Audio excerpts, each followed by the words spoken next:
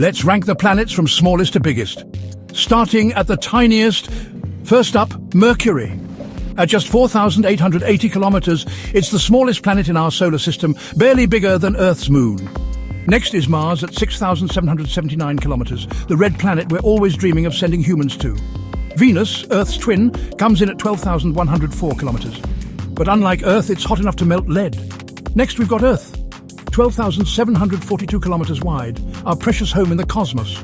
Uranus, one of the ice giants, comes in at 50,724 kilometers. It's cold and mysterious, tilted at a strange angle. Neptune, right next to Uranus, is 49,244 kilometers wide, and it's darker and more mysterious.